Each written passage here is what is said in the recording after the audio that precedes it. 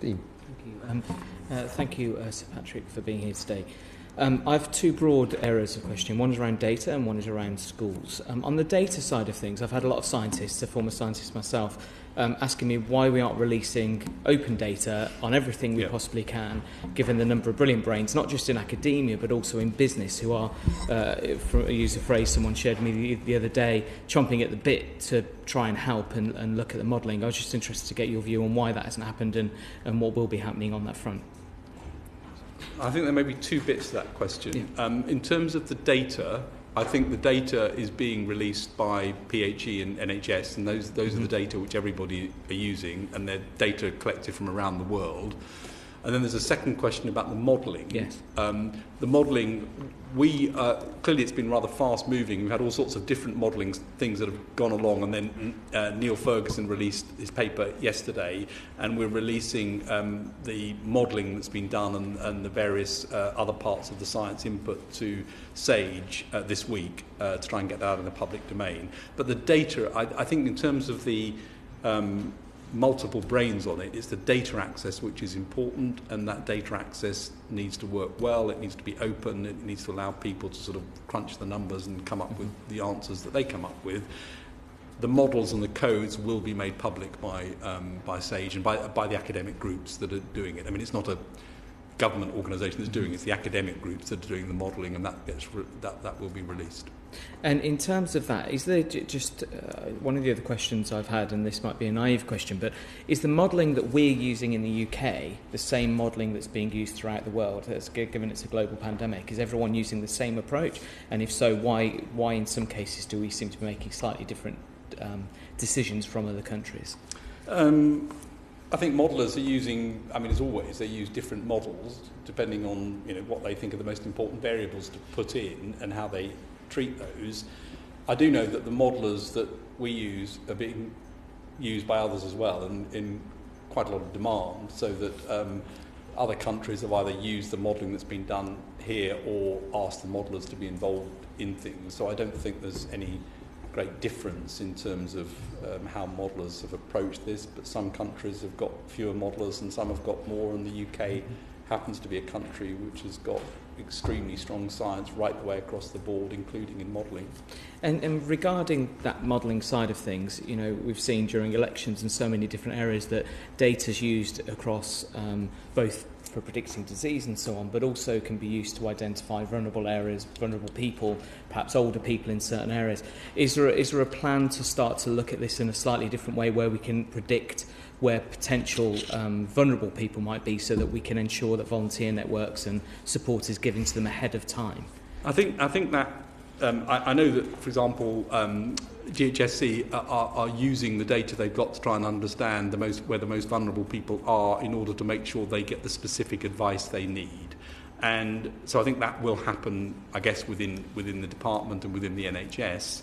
Um, I think the other question for modelling going forward is to what extent it can help um, understand where capacity is being reached and where therefore there are more stringent interventions that might need to take place in one area or another in order to manage this. And I think this is going to have to be an actively managed process to keep on top of it, which means I come back to my two points that testing and data flows are going to be critical to get this right.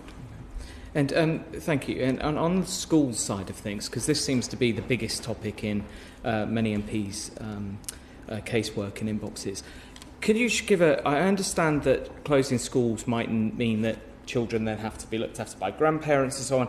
But what I'm hearing is that this is already happening, but on a lower level already. For example, I was told a story uh, just this week where one school is testing the temperature of children as they walk in the door. If their temperature is too high, the parent then has to literally find somewhere for them to be looked after. In many cases, that is grandparents. So, could you just give a really clear view on, on why schools aren't closing now, why we're doing it differently from other countries, which seem to be quite uh, commonly closing uh, schools, and if schools are to be closed, um, what the plans are around that? When we looked at all of the interventions, we looked at the ones that had the biggest impact first, albeit with the variability that we talked about, and um, those that have less effect. And school closing was definitely a bit lower down the list than some of the ones that we've announced. It doesn't mean it doesn't do anything, it would have an effect. Um, but it has all sorts of complicated effects as well, including the one that you mentioned of uh, potentially leading to uh, children being with grandparents and so on, and um, of course also causing an enormous problem not just for the workforce generally, but for the workforce in the NHS as well.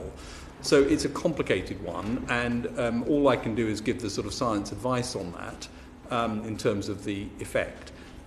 I think as you look across the world, for example, Singapore hasn't closed schools, it's introduced some different measures in schools. Taiwan, I think, didn't close schools in, in, in managing this. So there's been a variability across the world in terms of school closures and whether that's been part of the approach or not.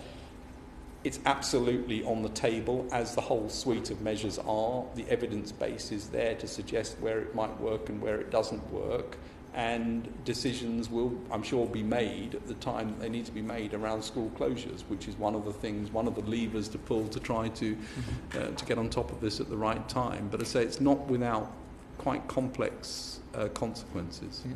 And just on that, just two more pretty brief questions, if that's okay. Um, one is around school children. I, I have a daughter myself. Um, a lot of kids are talking around this. They're not, um, uh, you know, they're not ignorant uh, of the situation. And one of the concerns also is around mental health. Um, around children, how they're being taught about this in schools. Um, you know, they're worried that they're going to give their, their grandparents something that could uh, potentially harm them. Is there any uh, discussion around mental health around this? Of course, physical health yeah. is absolutely key, but mental health and the concern of the repercussions of this over the coming months and years could be quite high. I think that's one of the big worries. I mean, we need to remember that um, the health service is going to be under pressure during this process, and uh, there will be the direct illnesses and um, tragic outcomes relating to the virus there'll be the indirect due to the fact that other people may not be able to get the care at the time that they need, and there will be the consequences on things like loneliness, on people feeling isolated, uh, on um, people not being able to get enough exercise and the other things they might want to do to keep themselves healthy.